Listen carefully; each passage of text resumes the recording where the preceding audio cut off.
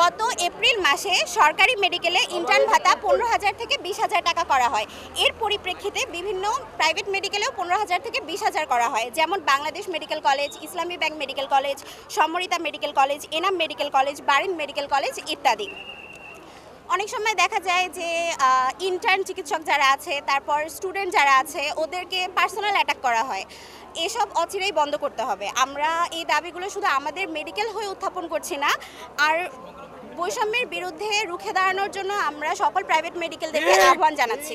ইন্টার্নরা আছে তারপর আমাদের যে সাধারণ শিক্ষার্থী প্রথম বর্ষ থেকে পঞ্চম বর্ষ পর্যন্ত আমরা এই আন্দোলনে মানে সঙ্গতি জানাইছি এবং আমাদের দাবি যে পর্যন্ত পূরণ হবে না আমরা আমাদের আন্দোলন চালাই যাব এবং আমরা ক্লাস বর্জন করছি গত তিন দিন থেকে।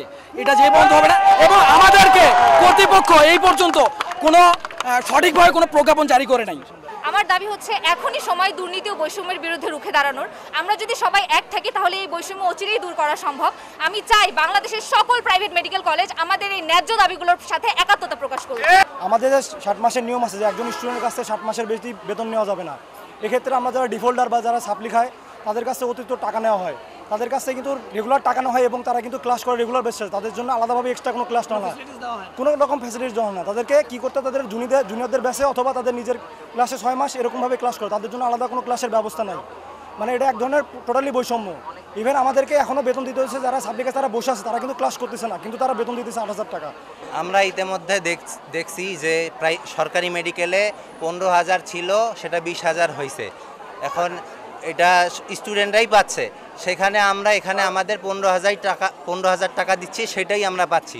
আমরা এখানে এক্সট্রা খালি যাচ্ছি পাঁচ হাজার টাকা ভর্তুকি। সেটাও তারা দিতে পারে না। অথচ সরকারি মেডিকেলে কিন্তু বিশ হাজার টাকা পাচ্ছে। তাহলে এখানে একটা বিশাল একটা বৈষম্যের শিকার আমরা।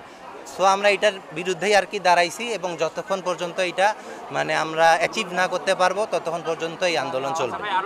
সরকারি মেডিকেল কলেজগুলোতে ডিউটি যেটা ডিউটি টাইম তারা করে এক টাইম একবেলা ডিউটি করে আর একবেলা ডিউটি করার পর তাদের শেষ। কিন্তু আমাদের দেখা গেল বিএমডিসি রুল অনুযায়ী আমাদের ওভার টাইম করায়।